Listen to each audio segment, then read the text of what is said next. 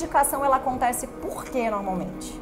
Porque o tutor está querendo dar aquela economizada no tratamento que já está muito caro, não é? Ou naquele monte de tratamento que às vezes ele ainda está pagando ali no cartão, ou que ele tirou de um dinheiro que ele não podia mexer, ele não sabe mais o que fazer.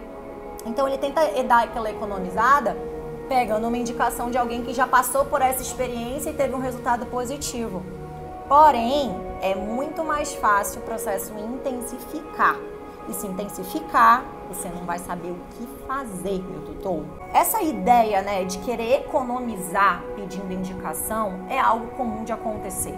Eu sei que isso é comum de acontecer, porque eu sei como é oneroso, né, tá fazendo diversas visitas com o veterinário. São exames, as consultas. Se você está num clínico geral é um valor, se você está no especialista é um valor dobrado, às vezes triplicado. Certa vez uma tutora me falou que passava né, sobre avaliação com uma dermatologista que só a consulta era 400 reais. Dói no bolso, né? Dói bastante, é um desfalque grande.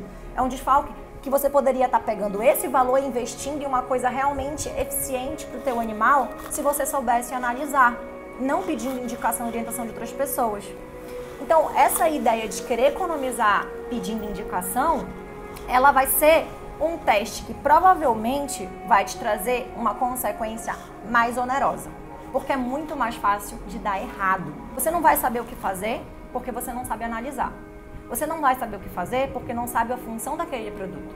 Você não sabe o que fazer porque você não tem nem ideia do que, que tem na pele dele e, e o que, que para que, que serve aquele shampoo. Você só sabe que aquele produto ali, que aquela ração, que aquele shampoo, que aquele hidratante, que aquele, enfim, resolveu o caso de alguém. E essa é a única análise que você tem em mãos.